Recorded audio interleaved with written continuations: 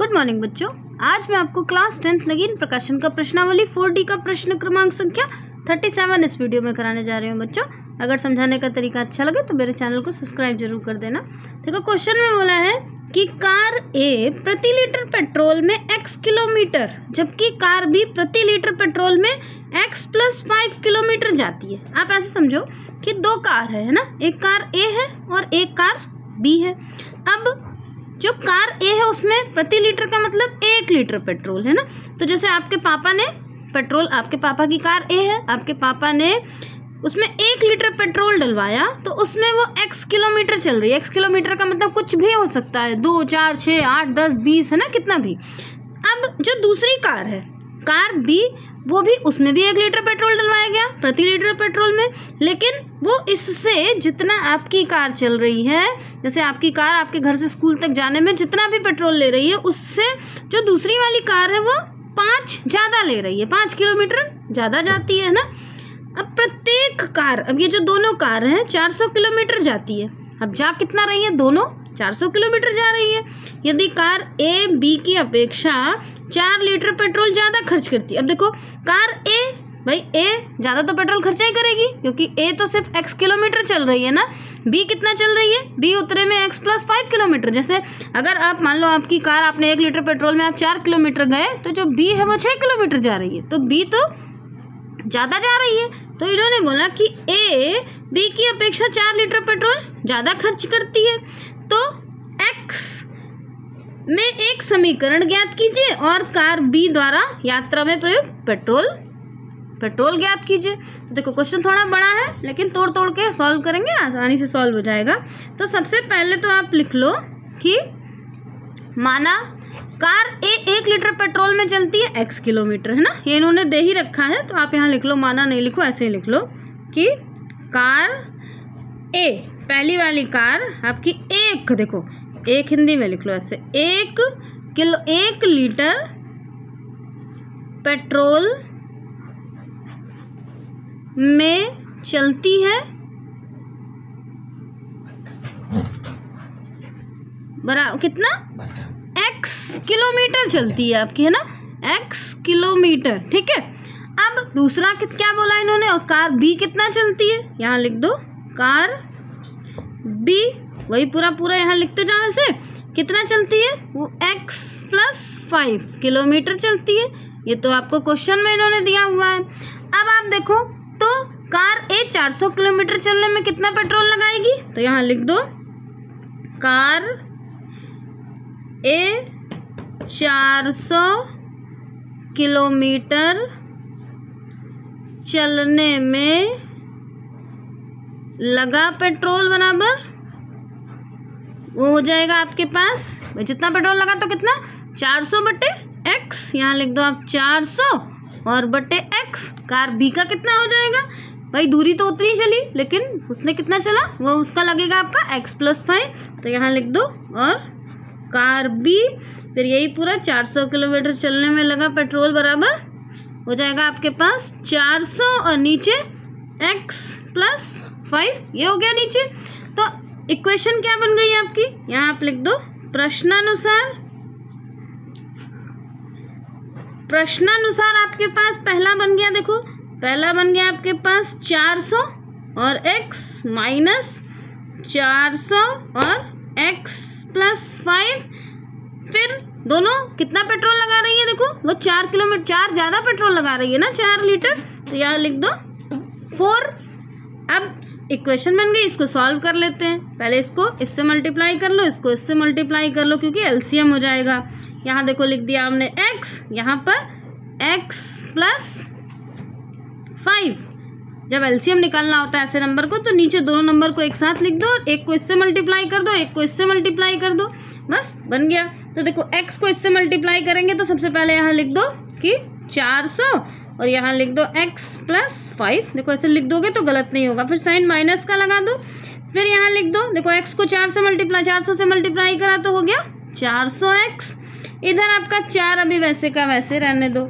इसको देखो इससे मल्टीप्लाई कर दो तो 400 को x से मल्टीप्लाई करा हो गया चार सौ एक्स चार सौ को पाँच से मल्टीप्लाई करा तो फोर फाइव ज़ा देखो ट्वेंटी और दो ज़ीरो और बढ़ा दो हो गया माइनस का फिर चार सौ एक्स नीचे अपॉन में इसको भी मल्टीप्लाई कर दो फोर एक्स को एक्स स्क्वायर से मल्टी एक्स से करा तो एक्स स्क्वायर हो गया फिर एक्स को फाइव से करा तो फाइव एक्स हो गया, है ना? अब इधर देखो, ये नीचे हमारे पास, इधर इक्वल्स टू में ये फोर है। देखो, यहाँ पर फोर एक्स प्लस का, यहाँ पर फोर एक्स माइनस का, ये दोनों आपके पास कैंसिल हो गया। बचा क्या आपके पास? बचा आपके पास यहाँ देखो, ये टू थाउज़ेंड और नीचे x square plus five x है ना? ये नंबर बचा इक्वल्स टू फोर हो गया। अब इसको इससे क्रॉस मल्टीप्लिकेशन कर दो। नीचे अपॉन वन लगा लेंगे हम। क्रॉस मल्टीप्लिकेशन कर दिया आपके पास तो देखो इसको इससे मल्टीप्लाई करोगे और इसको इससे मल्टीप्लाई करोगे।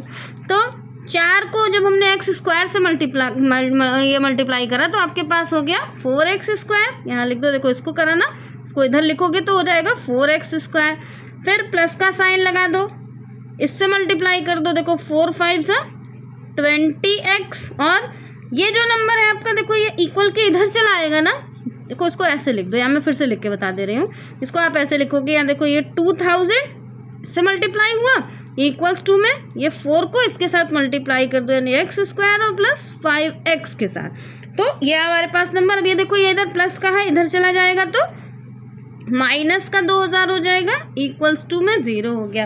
अभी देखो, सब चार से कट रहा है तो चार को कॉमन ले लो, यहाँ हो गया एक्स स्क्वायर यहाँ आपके पास फोर फाइव ज़ा ट्वेंटी और फोर फाइव ज़ा ट्वेंटी ये ट्वेंटी खत्म हो गया ना, दो ज़ीरो लग गया। अब ये जो फोर है, ये इधर चला जाएगा। ज़ीरो से तो मल्टीप्लाई हो जाएगा फोर कैंसिल हो जाएगा।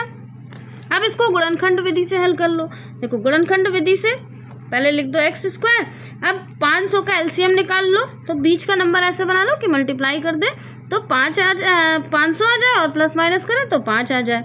तो उसके लिए आपके पास आपको नंबर मिल जाएगा। एक आप ले लो पच्चीस एक्स और एक ले लो आप बीस एक्स इधर पाँच सौ वैसे का वैसे लिख दो इक्वल्स टू में ज़ीरो कॉमन निकाल लो एक्स यहाँ पर एक्स प्लस पच्चीस. इधर यही ब्रैकेट उठा के यहाँ रख लो, यानी एक्स प्लस पच्चीस और यहाँ हो जाएगा यही जो बीस बचा है लिख लो.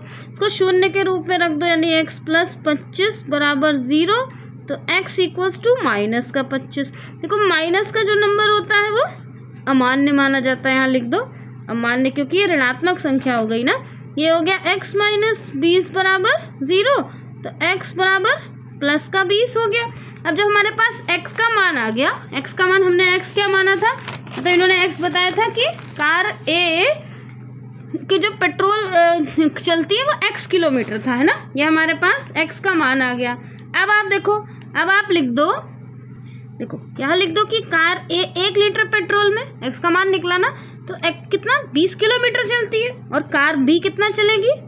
तो कार बी वही एक लीटर पेट्रोल में चलेगी आपके पास। उसका मान हमने माना था एक्स प्लस फाइव तो बीस प्लस फाइव बराबर हो जाएगा आपके पास। बीस में आप पाँच जोड़ दो तो हो गया आपके पास पच्चीस, है ना? यानी पच्चीस किलोमीटर चलेगी। कार बी कितना चलेगी? पच्चीस किलोमीटर। अब इन्होंने क्या बोला था? कार ए चार सौ किलोमीटर चलने में कितना पेट्रोल लगाएगी? तो यहाँ लिख दो कि कार ए चार सौ किलोमीटर चलने में लगा पेट्रोल। लगा पेट्रोल बराबर कितना? देखो, चार सौ और चार सौ और नीचे बटे में बीस, है ना? तो यहाँ लिख दो, देखो, चार सौ और बटे में बीस, देखो, ये ज़ीरो से ये ज़ीरो कट गया। टू वन ज़ा टू टू टू ज़ा फोर और एक ज़ीरो। यानी कितना? पेट्रोल लगेगा चार सौ, कार को चार सौ किलोमीटर चलने में बीस लीटर पेट्रोल लगेगा, है ना? और ऐसे ही आपके पास, ये आपके पास कार बीस बीस लीटर लगेगा और कार बी का भी निकाल लो। कार बी, फिर वही चार सौ किलोमीटर चलने में लगा पेट्रोल बराबर कितना? देखो चार सौ, उसमें कितना लगा था? पच्चीस, कट कर दो। देखो फाइव फाइव ज़ा और फाइव एट ज़ा फोर्टी एक ज़ीरो बढ़ गया। फाइव वन ज़ा, यहाँ पर फाइव वन ज़ा और फाइव सिक्स ज़ा थर्टी यानी कितना लगेगा? सोलह लीटर पेट्रोल। सोलह लीटर। बस यहाँ लिख दो अतः कार ए को चार सौ किलोमीटर चलने में सोलह लीटर कार, कार बी को चार सौ किलोमीटर चलने में सोलह लीटर पेट्रोल।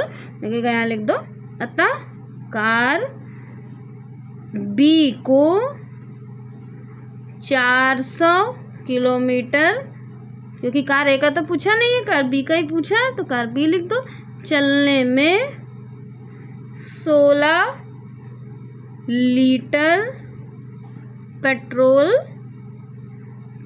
लगेगा। बस यही आपका आंसर हो गया। बच्चों, अगर समझाने का तरीका अच्छा लगा हो, समझ में आया हो तो मेरे चैनल को सब्सक्राइब ज़रूर कर देना। आप जितना ज़्यादा से ज़्यादा मेरे चैनल को सब्सक्राइब करोगे, उतना ही मेरा वीडियो डालने का इंटरेस्ट और बढ़ेगा और मैं जल्दी से जल्दी वीडियो सारे आपको डालती जाऊँगी और आप सारे क्वेश्चन को सॉल्व कर लेना। बाय बच्चों।